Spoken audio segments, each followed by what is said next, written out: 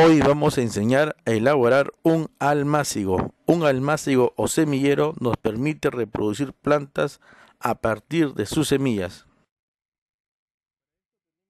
Para preparar nuestro sustrato tenemos acá nuestro recipiente de ensalada del pollo de la brasa con su tapa. Tenemos además el sustrato, tenemos el agua. También tenemos la semilla. Esta es semilla de manzanilla. A nuestro recipiente no le vamos a hacer ningún agujero, lo vamos a dejar así. Es un recipiente transparente. Vamos a echar nuestro sustrato, un poco nada más. Ahora le vamos a echar un poquito de agua. ¿Para qué? Para que moje donde va a, va a sentar la semilla, nada más. Fíjate que ha quedado mojada la arena. Esto es para que la semilla que esté, vaya a sentar acá, esté, coja también el mojado. Ahora lo vamos a emparejar un poquito con el dedo para que no quede, quede totalmente planito. Ya.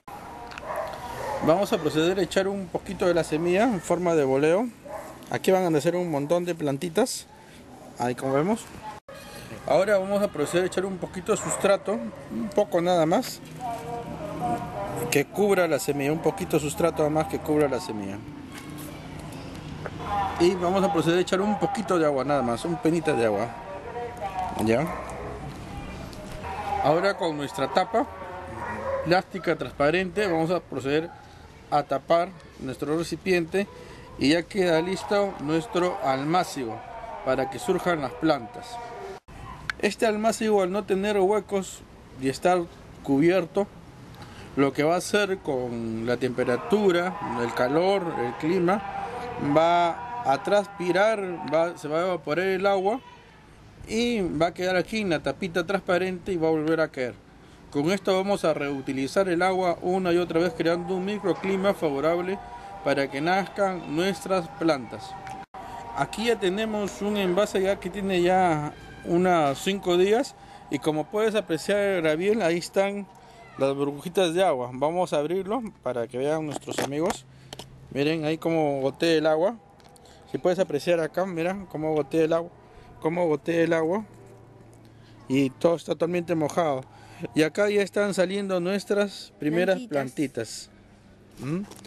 Es una forma muy, muy fácil que nos ahorra agua y nos ahorra también tiempo, creando todo un microclima una forma muy sencilla de hacer nuestros almácigos en casa.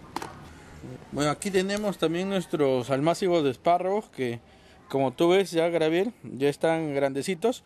Ya cuando la planta ha germinado, ya ha salido, ya se abre, se abre nuestro almácigo y vamos a esperar aquí que tenga un poquito más de altura para poderlos trasplantar.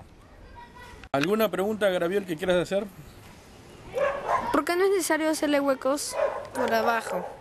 Ah, ¿por qué no es necesario hacerle huequitos? Bueno, porque la idea es reutilizar el agua, ¿no? Esto, este envase también está cerrado y con el calor transpira, va a caer en forma de goteo nuevamente el agua. O sea, vamos a volver a reusarlo y vamos a ahorrar agua y también tiempo, porque ya no va a ser necesario regar nuestra almácigo. Pero no se van a formar hongos y van a dañar la planta. Muy buena pregunta. Eh, no se forman hongos porque es totalmente transparente, deja de entrar los rayos del sol. Y este, cuando las plantas ya nacen, ya germinado, se, se abre. Eh, nuestro almácigo se abre para que entre pues mejor oxigenación.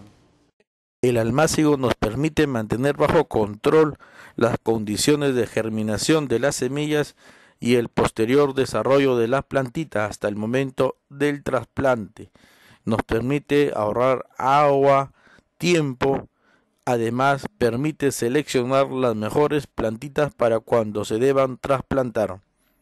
Podemos utilizar eh, diversos objetos envases de yogur, cajas de huevo, macetas o otros utensilios para usarlos como almácigos. Estos van a recibir el nombre de contenedores. La tierra que contienen nuestros contenedores van a recibir el nombre de sustrato. El sustrato usado para hacer los almácigos debe ser muy suave, limpio y homogéneo.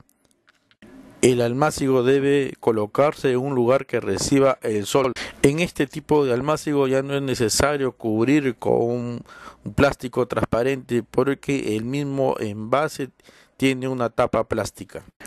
En biología, un sustrato es la superficie en la que una planta o un animal vive.